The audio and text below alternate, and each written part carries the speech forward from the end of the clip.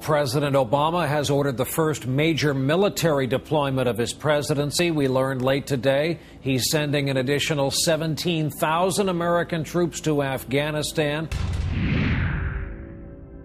The rural nature of Afghanistan, Afghanistan, 50% of Afghanistan is, is, is basically rural. Um, the rural nature of Afghanistan is precisely why the United States cannot defeat the Taliban mil- militarily, because um, the, United States only has the forces to go and, and control certain urban areas. And when I say urban areas, I mean like seven or eight houses in a crossroads is considered an urban area.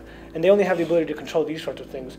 They don't have the, the troop size, nor could they conceivably ever have the troop size to actually control the countryside. It would require hundreds of thousands of troops in every village, which is not a, a tenable situation whatsoever. If we look at Afghanistan, uh, what we can see is, I think, the application of a faulty lesson.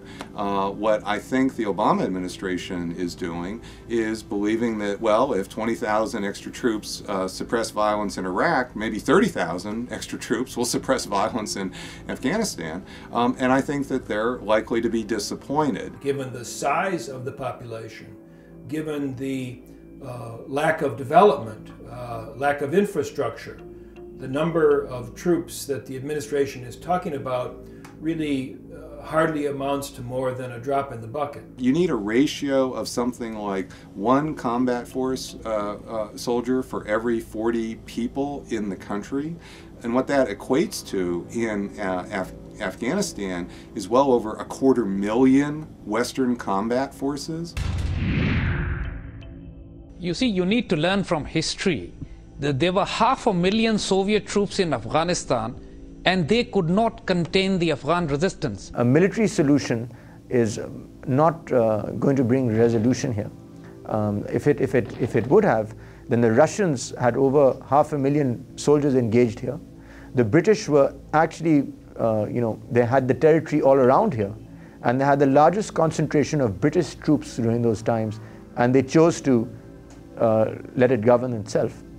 So I mean, it's important to look at some of those, uh, you know, lessons from history and see why was that done, and how will it be different today. The Afghans are probably the world champions in resisting foreign domination and infiltration into their country.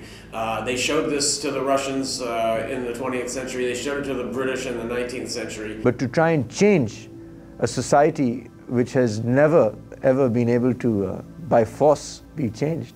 It's been known as a graveyard of many great armies. And um, it is not a place where you can bring about change by force. Я тогда начал понимать, что что-то неправильно мы делаем. Потому что если мы делали правильно, народ против нас и пошел. И вот с этого дня я начал замечать, что люди против нас. Уже взгляды были другие, действия были другие. И с каждым днем росло сопротивление населения. Они начали организовывать отряды, формирование, пошла помощь. И вот с этого, с января, с февраля 80 -го года до самого вывода до февраля 89 -го года негатив к нам шел по нарастающей.